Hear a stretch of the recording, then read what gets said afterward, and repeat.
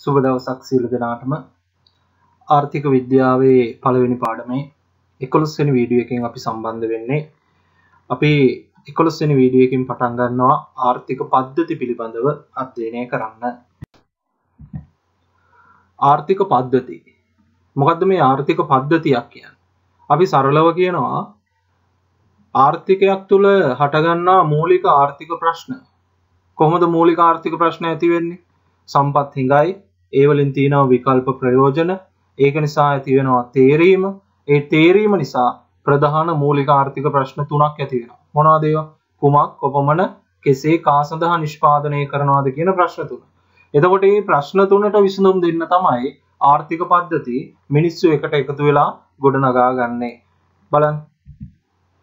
මූලික ආර්ථික ප්‍රශ්න විසඳා ගැනීම සඳහා සමාජයක් තුළ ජීවත්වන මිනිසුන් විසින් නිර්මාණය කරනු ලැබ ඇති යන්ත්‍රණ හෙවත් ආයතනික වැඩපිළිවෙල ආර්ථික පද්ධතියක් හෙවත් ආර්ථික සංවිධානයක් ලෙස හැඳින්වේ. ආර්ථික පද්ධතියක දී මිනිසා විසින් සකසාගන්නා නීති මාලාවකට අනුව එහි ඇති ආයතන සමූහයක් ක්‍රියාත්මක වෙනවා.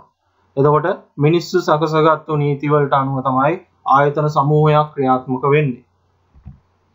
එම ආයතන මිනිසුන්ගෙන් සමන්විත සජීවී ඒකක වන අතර ඒ නිසාම එහි ක්‍රියාකාරිත්වය සක්‍රීය වූවකි.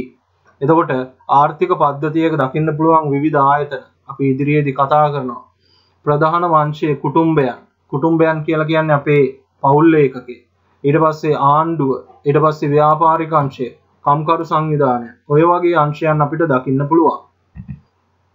භෞතික පද්ධතියක් තුළ පවත්නා ස්වභාවික වස්තු මෙන්ම ආර්ථික පද්ධතියක් තුළ දක්නට ලැබෙන වස්තු වන්නේ එහි පවත්නා ආර්ථික ආයතනයන්ය. මෙම ආර්ථික ආයතන ආර්ථික පද්ධතියක මූලිකාංග නැතං ආයතනික ලක්ෂණ ආදී නම්වලින්ද හැඳින්වීම සිදු කරනවා.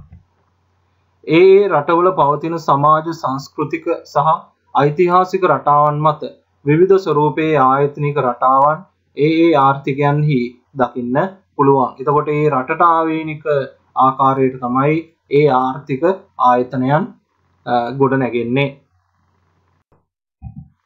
ආර්ථික පද්ධතියට දක්නට ලැබෙන මූලිකාංග අර ආයතනික ලක්ෂණ කියන දේවල් මොනවද බලමු.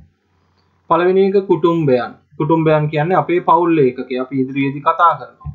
ඊට පස්සේ ආණ්ඩුව. ආණ්ඩුව කියලා කියන්නේ විදායකයේ ව්‍යවස්ථාදායකයේ අධිකරණය කියන කොටස් වලින් සමන්විත ඒකකයක්. ව්‍යාපාරික අංශය අවශ්‍ය කරන භාණ්ඩ හා සේවා සම්පාදනය කරන්නේ ව්‍යාපාරික අංශය. කම්කරු සංවිධාන කම්කරුවන්ගේ අයිතිවාසිකම් සේවකයන්ගේ අයිතිවාසිකම් උදෙසා සටන් කරන්නේ කම්කරු සංවිධාන. රාජ්‍ය නොවන සංවිධාන රජයට සිදු කරන්න බැරි සමහර කාර්යන් සඳහා රාජ්‍ය නොවන සංවිධාන එකන් රජයට අයිති නැති සංවිධාන මැදිහත් වෙනවා. ඊට වෙළඳ පොළවල්. එතකොට භාණ්ඩ වෙළඳපොළ ප්‍රාග්ධන වෙළඳපොළ මුදල් වෙළඳපොළ සාධක වෙළඳපොළ ඔය විදිහට අපි වෙළඳ පොළවල් ගණනාවක් අධ්‍යයනය කරනවා. සානුබල මොනහරි පෙළඹවීමක් ඇති කරනවා. එතකොට මේ සානුබල ප්‍රධාන ස්වරූප තුනක් තියෙනවා. ද්‍රව්‍යාත්මක ප්‍රතිලාභ පදනම් කරගත් සානුබල, බලය පදනම් කරගත් සානුබල, යුක්තිය හා සදාචාරය පදනම් කරගත් සානුබල. අපි ඉදිරියේදී ඒවා අධ්‍යයනය කරනවා. නෛතික විහුවේ රටක නීතියක් කියලා දෙයක් තියෙනවා. ඒ නීතියෙන් තමයි රටේ ක්‍රියාකාරීත්වය තීරණය වෙන්නේ. සිරිත්‍රිත් හා සම්ප්‍රදායන් හා සංස්කෘතියෙන් ඕනෑම රටක මේ වගේ දේවල් දකින්න පුළුවන්. ඩස් බලන් මෙම මූලික මූලිකාංගයන් අතුරින් ආර්ථික පද්ධතියක තීරණ ගැනීම හා සම්බන්ධ වන විශේෂ පාර්ශව වන්නේ කුටුම්බ ආණ්ඩුව ව්‍යාපාරිකංශය කම්කරු සංවිධාන සහ රාජ්‍ය නොවන සංවිධාන ආදිය. එතකොට මේ කියන කොටස් ප්‍රධානම අංශයන් විදියට විශේෂ පාර්ශවයන් විදියට අපිට දක්වන්න පුළුවන්. එතකොට ඒ කොටස් ටික දැන් අපි වෙන වෙනම කතා කරගෙන යමු. මුලින්ම කුටුම්බයක්. කුටුම්බයක් කියලා කියන්නේ ආර්ථික පද්ධතියක් තුළ ඉන්න විශේෂම ඒකකයක්. බලන්න. ආර්ථික පද්ධතියක ඇති වැදගත්ම ආයතනික ලක්ෂය වන්නේ කුටුම්බයන්නේ. එකම අයවැයකින් එකම ගෘහයක් තුළ එකට වාසය කරන පිරිසක් කුටුම්බයක් සේ සැලකේ. අපේ පවුල් ඒකකයේ තමයි ඔය කුටුම්බය කියලා කියන්නේ ආර්ථික විද්‍යාවේදී. විවිධ සමාජවල සිටින කුටුම්බ එක්කෝ න්‍යෂ්ටික පවුල් එසේත් නැතිනම් විස්තෘත පවුල් විදිහට අපිට දකින්න පුළුවන්. කුටුම්බයන් එක් අතකින් ශ්‍රම සපයම් කරුවන් වන අතර නිෂ්පාදනය කරන ලබන බොහෝ භාණ්ඩ හා සේවා සඳහා පාරිභෝගකයන් වන්නේද කුටුම්බයන්නේ. එතකොට බලන්න ඔයාගේ අම්මා තාත්තා ව්‍යාපාරවල වැඩ කරලා, ඒ කියන්නේ ව්‍යාපාරවලට ශ්‍රමය සපයලා ලබා ගන්නවා වැටුප්. ඒ වැටුප් අරගෙන නැවත වෙළඳපළට ගිහිල්ලා භාණ්ඩ හා සේවා මිලට ගන්නවා. එතකොට මේ ක්‍රියාදාමයේ සිදු කරන්නේ ප්‍රධාන කොටම කුටුම්බයන්. එසේම නිෂ්පාදන සාධක පිළිබඳ අයිතියද කුටුම්බයන් සතුයි. මොනවද නිෂ්පාදන සාධකයන් භූමියේ ශ්‍රමයේ ප්‍රාග්ධනය විවසායන් කියන දේවල් වල අයිතිය තියෙන්නේ කුටුම්බයන් සතුව. ආර්ථික පද්ධතියක කුටුම්බ විසින් ඉටු කරනු ලබන වැදගත් කාර්යභාරයන් තියෙනවා. කුටුම්බයන් ඉටු කරන වැදගත් කාර්යභාරයන්. අපි බලමු මොනවද කියලා.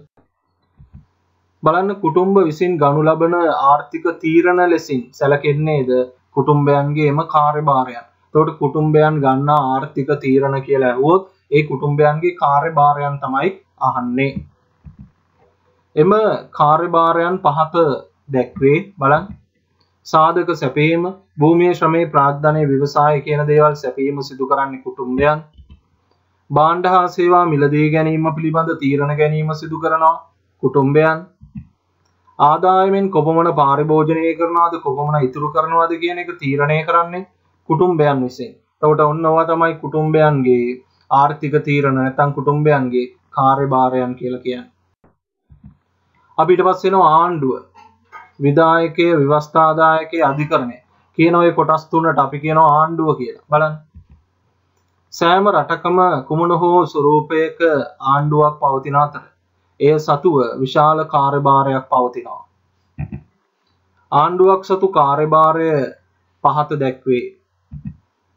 ආර්ථික හා පෞද්ගලික අයිතිවාසිකම් ආරක්ෂා කරලා දෙන්නේ ආණ්ඩුව. කර්මාන්ත හා ව්‍යාපාර නියාමනය කරන්නේ ආණ්ඩුව. බාණ්ඩ හා සේවා සැපීම සිදු කරනවා ප්‍රධාන කොට ආණ්ඩුව. ආදායම් පුනර්ව්‍යාප්තියක් ඇති කරනවා. ඒ කියන්නේ ආදායම් සමානාකාරයෙන් බෙදා හරින්න කටයුතු කරනවා. ඒ වගේම නීති රීති හා ව්‍යවස්ථාවන් සකසන්නේ ප්‍රධාන කොටම ආණ්ඩුව. ඒවා හොඳට මතක තියාගන්න ආණ්ඩුවක කාර්යභාරයන් නැවුවොත් මේ කොටස් ලියන්න පුළුවන් විභාගෙදී. ව්‍යාපාරික ආයතන. ව්‍යාපාරික ආයතන ප්‍රධාන කොටම ආර්ථිකයට අවශ්‍ය කරන භාණ්ඩ හා සේවා සම්පාදනය කරන්න ව්‍යාපාරික ආයතන. බලන්න. ආර්ථිකයක විවිධ ස්වරූපයේ ව්‍යාපාරික ආයතන දකින්න පුළුවන්. පෞද්ගලික අංශයට අයිති ව්‍යාපාර සම්මූපකාර රාජ්‍ය ආයතන විදියට අපිට ව්‍යාපාරික ආයතන දක්වන්න පුළුවන්. ව්‍යාපාරික අංශයේ සතු කාර්යභාරයන් පහත පරිදි දක්වන්න පුළුවන්. බලන්න මොනවද ව්‍යාපාරික අංශයේ ඉටු කරන කාර්යභාරයන් කියලා. නිෂ්පාදන සම්පත් මිලට ගන්නවා. කුටුම්බයන් ගාව තියෙන භූමියේ ශ්‍රමයේ ප්‍රාග්ධනයේ ව්‍යවසාය කියන දේවල් මිලට ගැනීම සිදු කරන්නේ ව්‍යාපාරික ආයතන. කුමක් කොපමණ කෙසේ කා සඳහා නිපදවන්නේද යන්න තීරණය කිරීම සිදු කරන්නේ ව්‍යාපාරික ආයතන. භාණ්ඩ හා සේවා නිෂ්පාදනය කරන්නේ ප්‍රධාන කොටම ව්‍යාපාරික ආයතන. සාධාරණ මිලකට බාණ්ඩ හා සේවා අලවි කිරීම සිදු කරනවා. ව්‍යාපාරික ආයතන. මේ වගේ දේවල් අපිට ව්‍යාපාරික ආයතනයක කාර්යභාරයන් කියලා දක්වන්න පුළුවන්. විභාගෙදී අහුවොත් පාඩම් කරලා තියාගන්න ඊට පස්සේ කම්කරු සංවිධාන. බලන්න. ශ්‍රමිකයන් විසින් ගොඩනගා ගනු ලබන කම්කරු සංවිධානවල කාර්යභාරයන් කිහිපයක්. ඒ කියන්නේ ශ්‍රමිකයන්ගේ අයිතිවාසිකම් දිනා ගැනීමේ අරමුණින් තමයි කම්කරු සංවිධාන ගොඩනගා ගන්නේ. සේවක අයිතිවාසිකම් ආරක්ෂා කිරීම සඳහා කටයුතු කරනවා. සේවා නියුක්තිය නිෂ්පාදන තාක්ෂණය හා වැටුප් මට්ටම් කෙරෙහි බලපෑම් ඇති කිරීම වගේ දේවල් කම්කරු සංවිධාන විසින් සිදු කරනවා. එතකොට කම්කරුවන්ට ඔය කියන දේවල් වලින් මොන හරි දෙයක අඩුපාඩුවක් දැනෙනවා නම් ඒවා දිනා ගන්න ඒ කම්කරු සංවිධාන සටන් කරනවා. රාජ්‍ය නොවන සංවිධාන රජයට කරන්න බැරි කටයුතු සඳහා තමයි මේ රාජ්‍ය නෝන සංවිධාන මැදිහත් වෙන්නේ බලන්න නූතන ආර්ථිකයන්හි වර්ධනය වෙමින් පවතින රාජ්‍ය නොවන සංවිධාන සතු කාර්යභාරය රැසක් පවතිනවා මොනවද බලන්න උදාහරණ විදිහට දිළිඳුකම තුරන් කරන්න කටයුතු කරනවා. පරිසර සංරක්ෂණය සිදු කරනවා. මානව අයිතිවාසිකම් මානව හිමිකම් වගේ දේවල් ආරක්ෂා කිරීම සිදු කරනවා. ස්වභාවික ආපදා තත්ත්වයන්හිදී අවතැන් වූ ජනතාවගේ සුබ සාධනය වෙනුවෙන් කටයුතු කිරීම. එතකොට ඔන්න ඕ වගේ කාර්යභාරයන් රාශියක් රාජ්‍ය නොවන සංවිධාන සිදු කරනවා. පාඩම් කරලා තියාගන්න විභාගෙදී ඇහුවොත් එහෙම වැදගත් වෙයි. හරි. එහෙනම් අපි ආර්ථික විද්‍යාවේ පළවෙනි පාඩමේ 12 වෙනි වීඩියෝ එකෙන් සම්බන්ධ වෙමු.